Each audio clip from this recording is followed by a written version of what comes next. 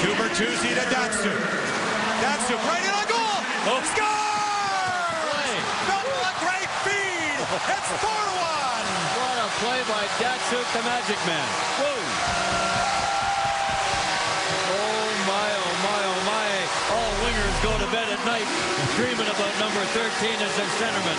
Look at this play. He goes wide. Filppula releases off the defenseman over here. Bertuzzi drives the net.